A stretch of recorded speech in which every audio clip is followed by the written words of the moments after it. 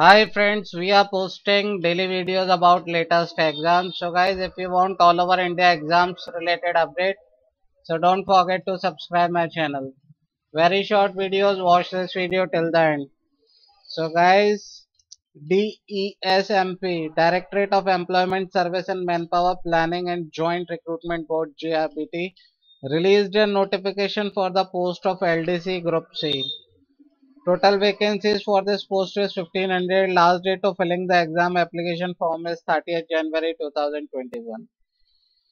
So guys, the admit card for this exam will be released shortly soon. The exam will be conducted in two written papers followed by interview. Question paper will be multiple choice questions.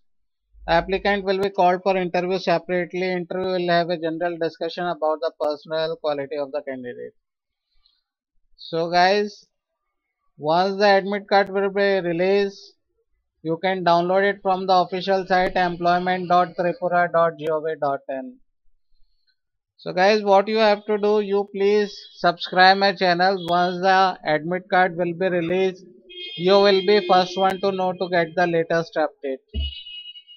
If you have any information any query please share it in the comments. Thanks for watching this video. Stay updated stay tuned. Thank you